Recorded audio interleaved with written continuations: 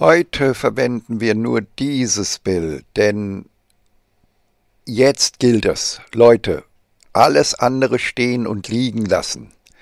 Wer das jetzt nicht tut, der verpasst die große Chance. Jetzt, jetzt gilt es. Die Partei Wir 2020 hat die Gespräche aufgenommen äh, mit den Next Scientists for Future vom Weltrat, äh, den 23 Professorinnen und Professoren und der, inklusive der ehemaligen Bundesgesundheitsministerin. Und zwar hier, man äh, findet das hier zum Beispiel äh, in Playlist Nummer 3 am Anfang auf Position 4 finden Sie Termin 12 äh, die, die, Sendung hat mittlerweile insgesamt auf verschiedenen Sendern äh, um die 100.000 Klicks erreicht und Tausende an Likes und so weiter. Und hier ab eine Stunde 47,22 geht's los mit Next Scientist for Future und Dr. Wolfgang Wodak im Gespräch über die Zukunft auch des Gesundheitswesens und der Gesellschaft sozusagen.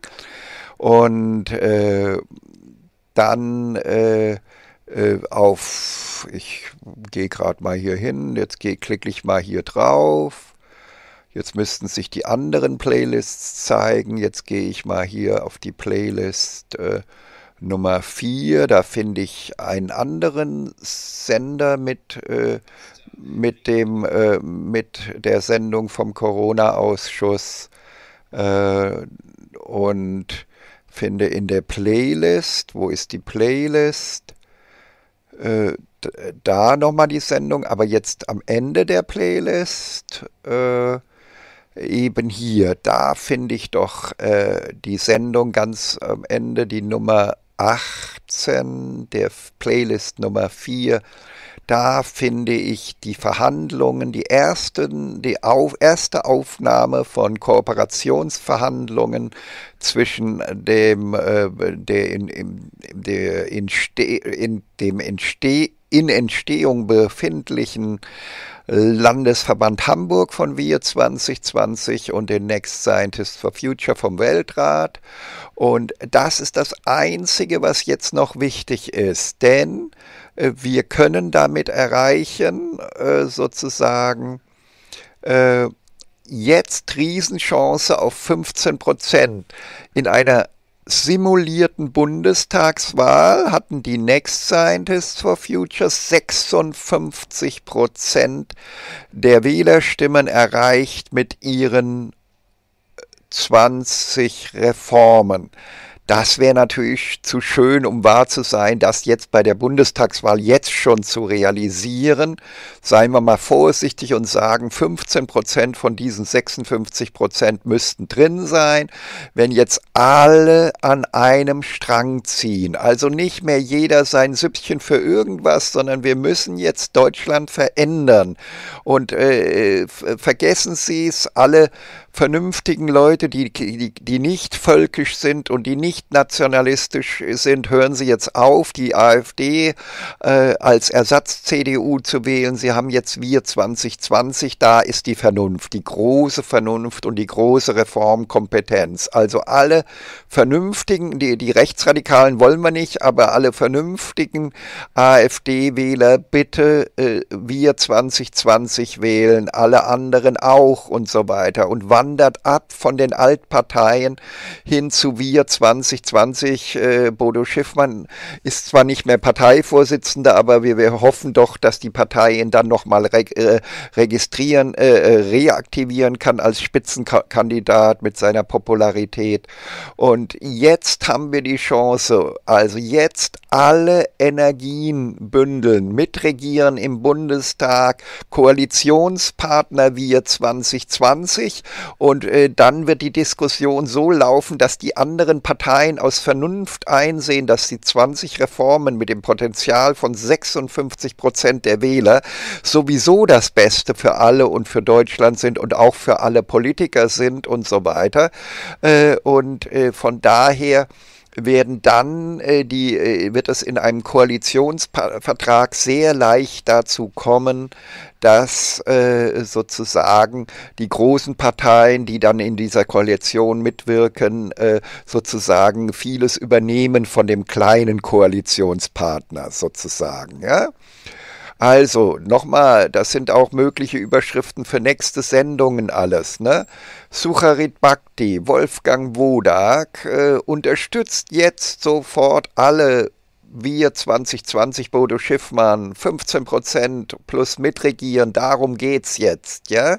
Und alles andere ist nur leeres Gerede und sinnlose Zeitvergeudung. Es wird gar nichts bewirken.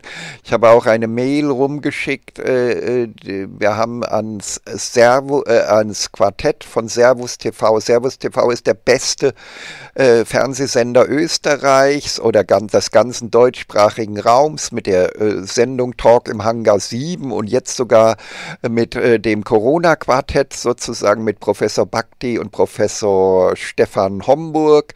Äh, Leute, das, da gilt es jetzt sozusagen. Auch diese Sendung wird nichts Großes bewirken, wenn sie nicht auch jetzt anfängt, über die politische Zukunft Deutschlands zu reden und dann soll sich schnellstmöglich in Österreich ein Ableger von Wir 2020 bilden und in der Schweiz auch und dann kriegen wir dies sensationelle Lösung hin. Ja?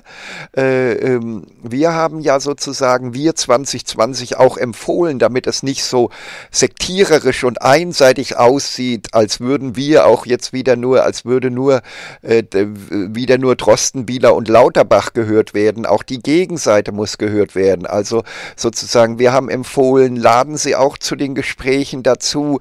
Die Gemeinwohlökonomie mit äh, von Christian Felber laden Sie dazu das Thema Bürgerräte, Bürgerversammlungen, Bürgerparlamente äh, und so weiter dazu, damit wir von den Next Scientists for Future und dann äh, laden Sie die Volksentscheidsvertreter mit dazu und mehr Demokratievertreter zum Gespräch, damit wir dann argumentativ aufweisen können, warum all diese Ansätze äh, mangelhaft sind und nicht zielführend sind und auch keine Umsetzungschancen haben, im Gegensatz zu den 20 Reformen der Next Scientists for Future.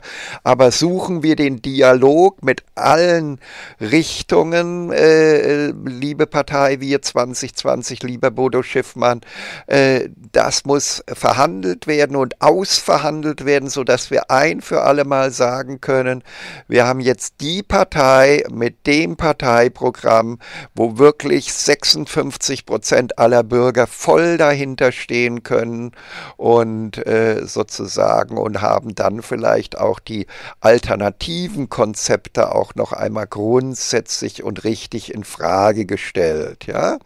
Also alle Corona-Nachdenklichen jetzt mitregieren, mit Wir 2020, Bodo Schiffmann, alles andere ist Zeitvergeudung oder Zeitvergeuden. Also Schluss jetzt mit all dem Gelaber und Gerede und mit all den Sendungen des Internets, Fernsehens, wo sich so viele Leute gerne selber reden hören, die in Wirklichkeit überhaupt nichts zu sagen haben, weil sie nichts können und nichts wissen. Alles bündeln jetzt auf die eine Lösung.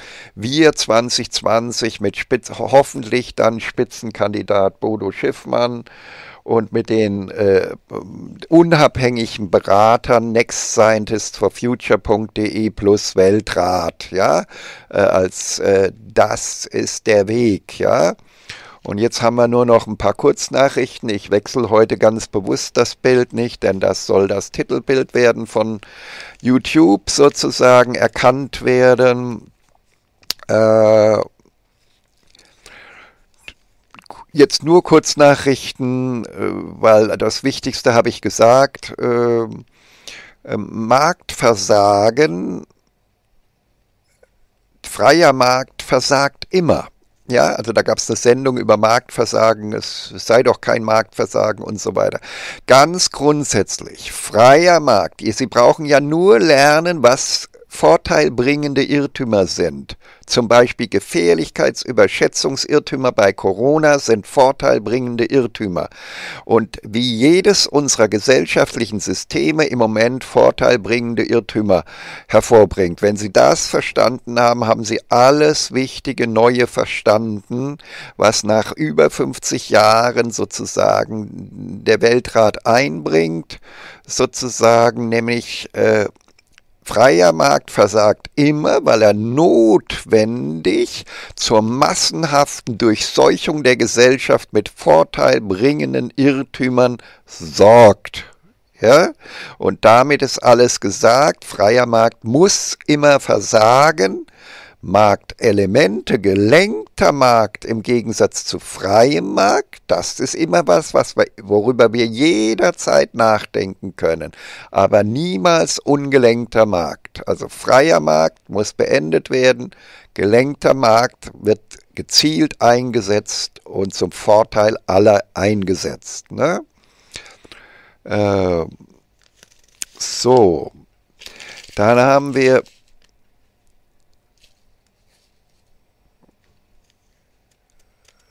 So, dann haben wir das, das hatten wir schon erledigt. Ja, dann war eine Sendung auch wieder über den, äh, das äh, öffentliche rechtliche Fernsehen. Das ist ja dann immer auch in allem unrealistisch leider. Äh, über den Lebensverlängerungsunsinn über 127 Jahre hinaus, ja. Also noch einmal, Sterben ist wichtig und gut, weil ein Organismus, der zu lange lebt, seinen Nachkommen irgendwann anfängt, Schaden zuzufügen durch sein Weiterleben und weiter Nahrung verbrauchen und so weiter.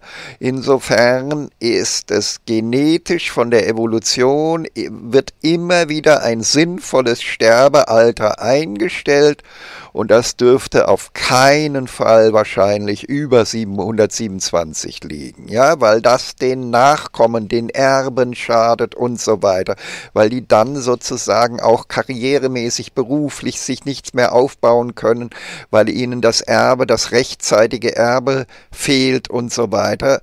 Also insofern dürfen die Menschen zwar 127 werden, aber darüber hinaus ist wahrscheinlich genetisch auch unter den heutigen Evolutionsbedingungen einer modernen Gesellschaft nicht sinnvoll. Ja?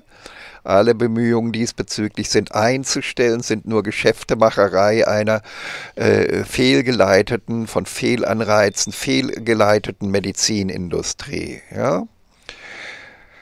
Ja, deswegen, das nochmal das große Stichwort freier Markt versus gelenkter Markt. Also auch das können Sie sich merken neben dem Begriff vorteilbringende Irrtümer. Ja? Äh, Schäuble spricht über Bürgerräte, aber die haben dann letztendlich nichts zu sagen und sind dann bedeutungslos, ja. Das ist sozusagen, äh, und alle Bürgerräte, die etwas zu sagen hätten, das werden die Politiker zu verhindern wissen, weil es ihnen keinen Vorteil bringt. Die Reformen der Next Scientists for Future, die 20 Reformen, bringen ihnen Vorteil. Also die, die Einführung der Wohlfühlstimme, die drastische Erhöhung der Diäten der Politiker und so weiter, die die wegfallenden äh, äh, sonstigen Vorteile äh, sozusagen, man, wir müssen uns ja klar sein, ein Politiker, der im Moment Karriere macht, äh, der hat zu Recht äh, im Moment die Erwartung vieler finanzieller äh, Zuwendungen und Gehälter jenseits der politischen Diäten und der Aufwandsentschädigungen. Und diese Summe, die will er ja nicht verlieren, diese Gesamtsumme aller Vorteile.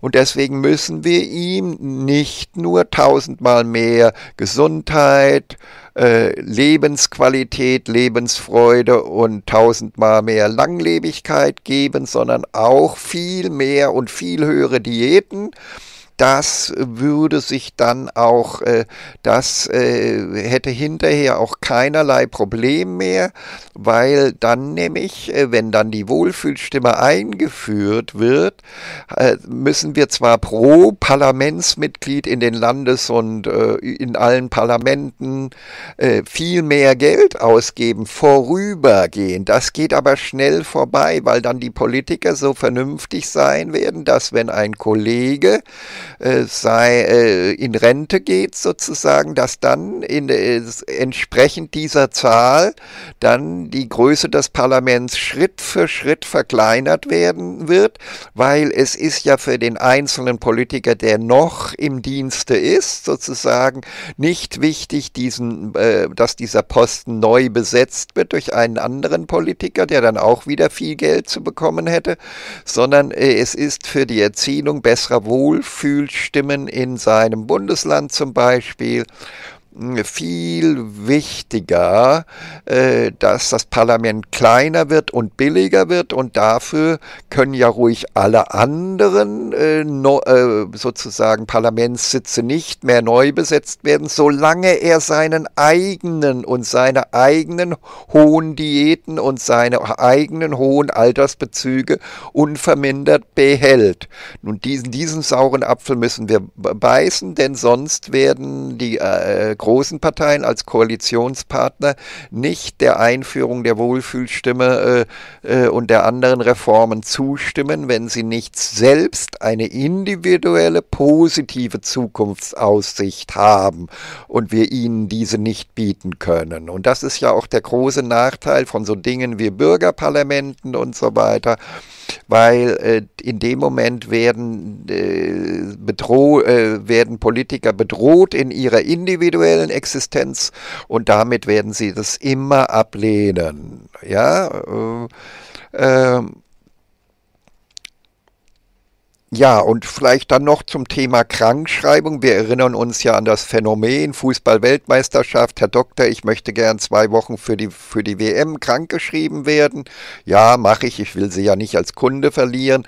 Ja, da müssen wir das halt auch in Zukunft so machen, dass der Arzt die Hälfte der Kosten äh, trägt, die entstehen. Also für den Betrieb entstehen durch zwei, äh, zwei Wochen äh, eigentlich unerlaubter Krankschreibung äh, so und so viel Kosten und davon trägt die bei jeder Krankschreibung trägt die Hälfte der Kosten der Arzt von seinem Etat aus und verliert dann also Geld. Ein Hausarzt oder Hausarzt, Gesundheitskommunenteam sozusagen verliert dann viel Geld, wenn sie illegalerweise Krankschreibungen machen. Ja, also wir haben Politikern bisher erlaubt, sehr gut zu verdienen.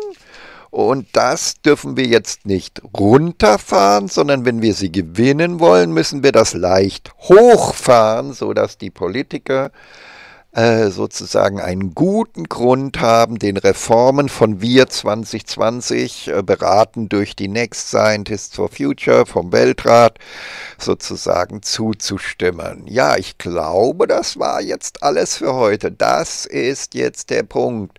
Äh, vergesst alles Unwichtige. Jetzt gilt es alles konzentrieren auf Wir 2020.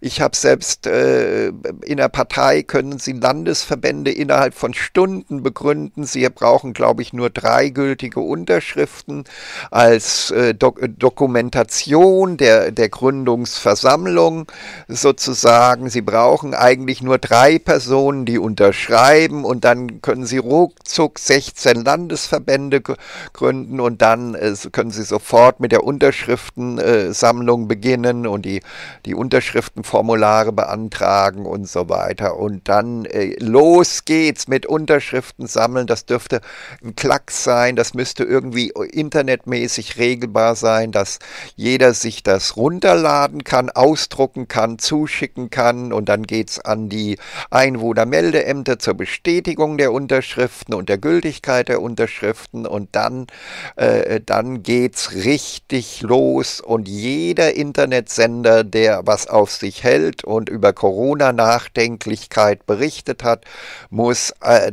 Leute einladen. Bodo Schiffmann einladen, Next Scientists for Future äh, Weltrat einladen und vielleicht noch konkurrierende Konzepte wie die Gemeinwohlökonomie und dann heißt es Reformen durchdiskutieren, sich gegenseitig sagen, wo man denkt, dass Fehler in den Reformen sind.